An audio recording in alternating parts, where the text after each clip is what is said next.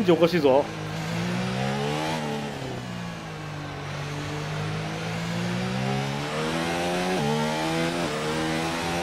なんか下の方で息つきする息つきがはいこんにちはピカーです今日ね F12019 やっていきたいと思います。はい、えー、第3戦になりますね。中国ですね。早く追いつかないとさ。いけないから。これもうどんどんやっていこうと思って、えー、今のところ1位3位でハミルトンと並んでますねはい、えー、難易度は95ですねここで上げられるんだけど、まあ、とりあえず95でやろう。102はね、あまりにも高すぎた、確かに。今回はね、車の開発をね、めっちゃやっていこうと思います。お車の開発が終わりましたね。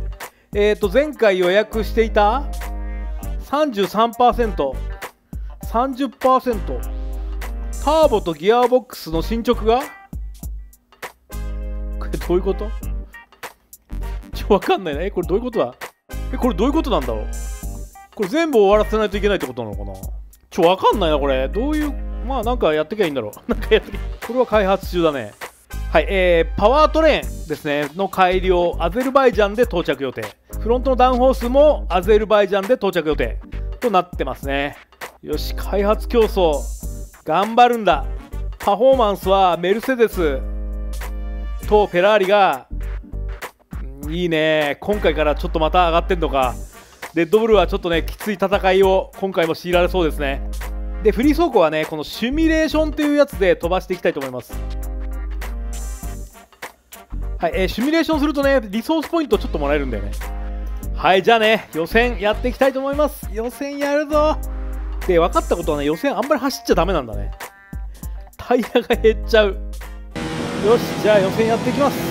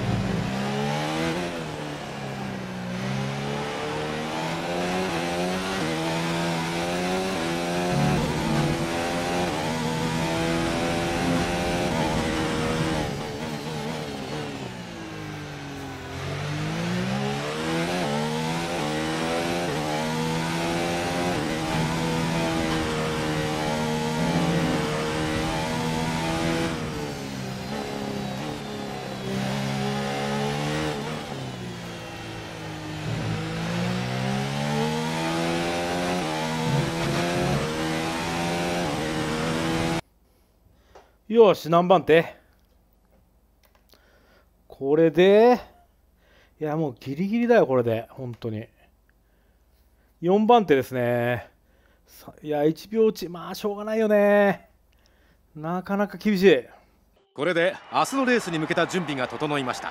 はい、4番手のままですね。最前列に誰が並んだのかを見ておきましょう。ハミルトン、ルクレール、バルテリ・ボッタス。これで予選は終了です。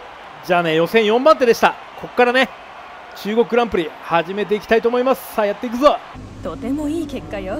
レースいいのか、これ。ね、いいのか、これ、本当に。なんかツリーがまだできないか。これできるんじゃない？シャーシ。開発。おこれできるじゃん。やった。よしこれをやっといて決勝レースね。やってみたいと思います。中国グランプリ決勝攻めるよ。はいえー、っと3周目でピットしてそこからミディアムっていうねワンストップ作戦ですね。はいえー、例によって燃料を増やしておきます。1.5ラップ分。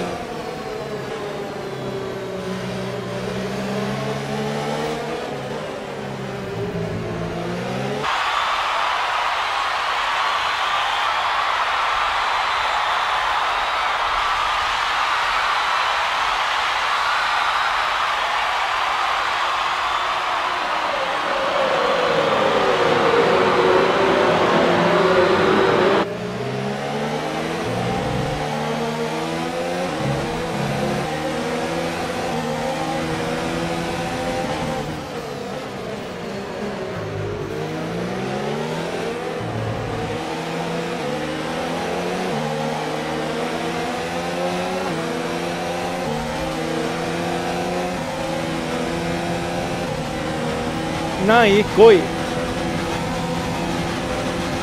よくないね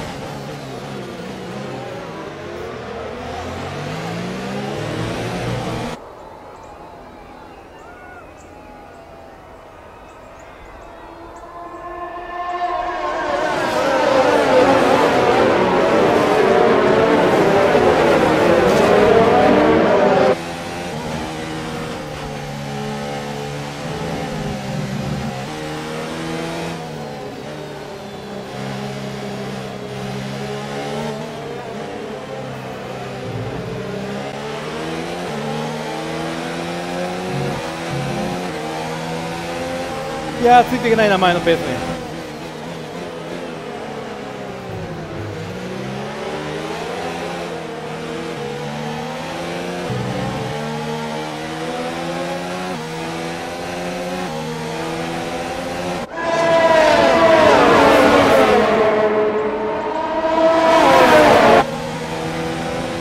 いや全然ついていけない。なんだこれ。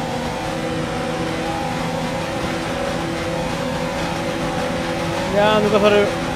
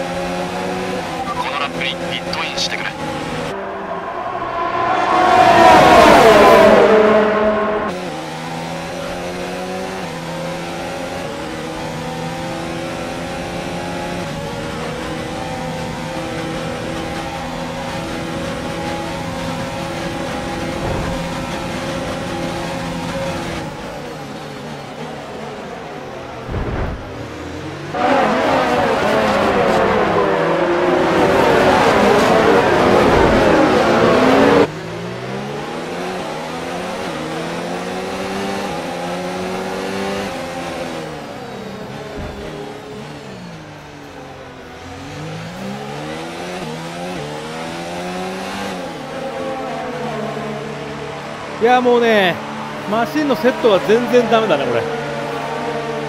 もうリアが流れてもう戦いにならないね。厳しい。行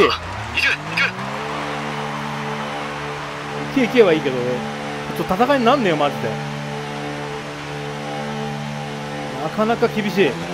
今のが最後のストップだ。この先ピットストップの予定はない。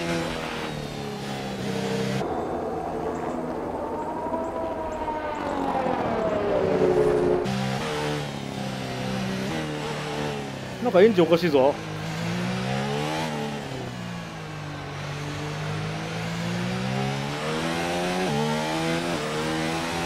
なんか下の方で息つきする。息つきが。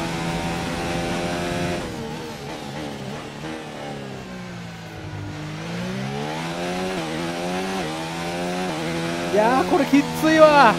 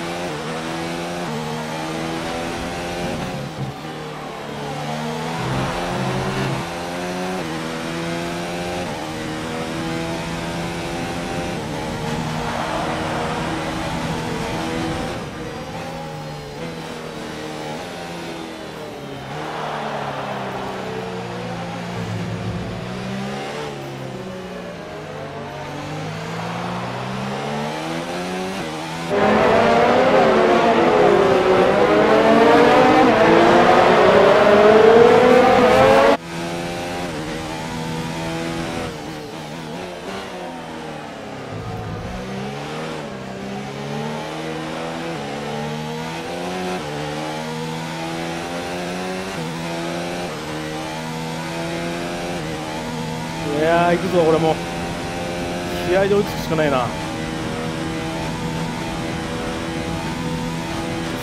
周かかる。行かせないことはない。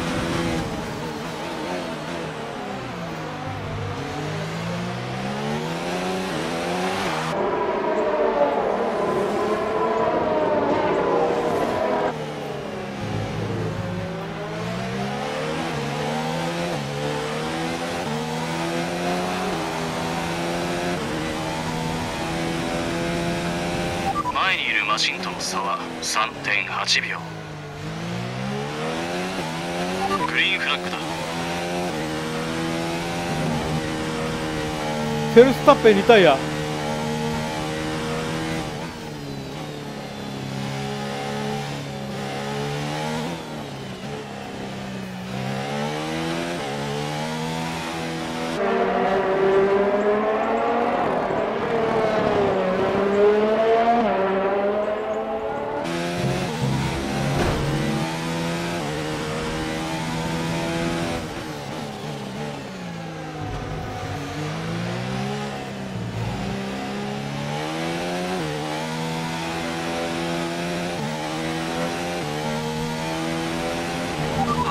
先頭を走ってる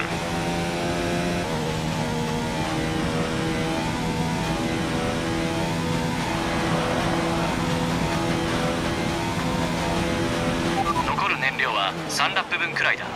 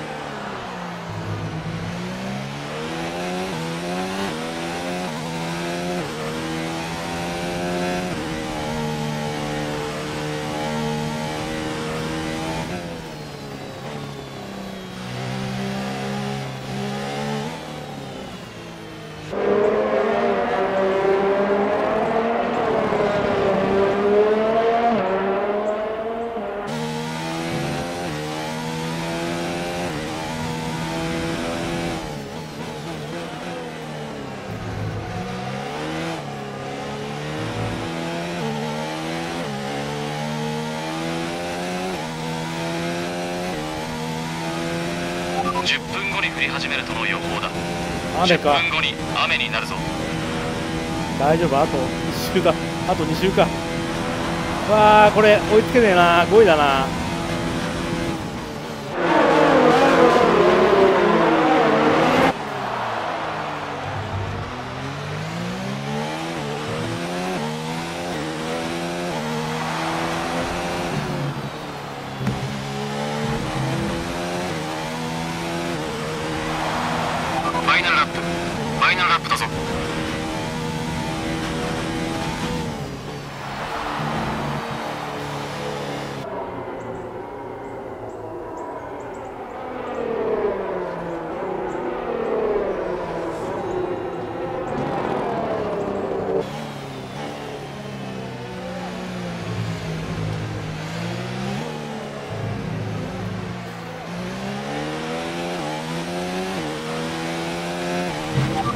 信が遅れ出した差が開いてきてる。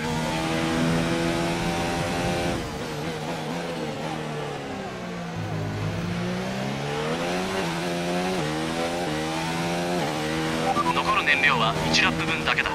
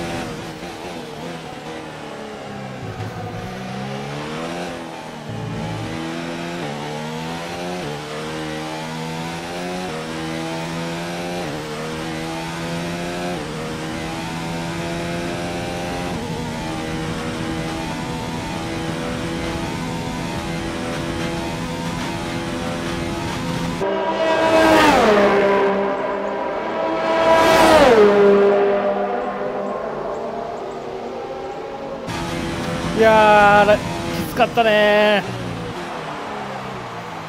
このレースはきつかった。エンジンがもう全然。負けすぎてるわ。はいゴール。文句のない最高の走りだ。最初はどうなるかと思ったらやってくれたじゃないか。礼を言おう。